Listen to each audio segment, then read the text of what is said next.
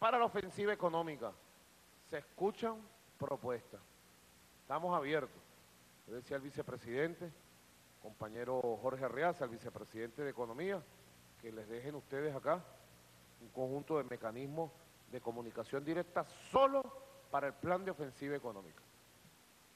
para escuchar las propuestas de ustedes. Estamos ahorita en fase de consulta y perfeccionamiento del plan de la ofensiva económica, de la primera fase,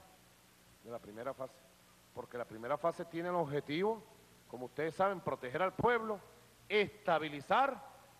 y garantizar un feliz fin de año 2013 y garantizar lo que vamos a tener, un año 2014 de crecimiento, prosperidad y salud económica, lo vamos a tener, anótenlo ustedes, tenemos los recursos, tenemos las políticas,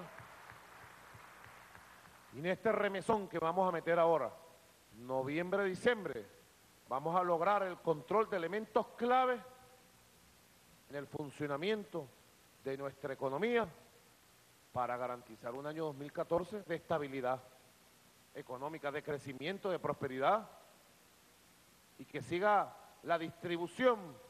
de la renta petrolera vía inversión social de las misiones y grandes misiones.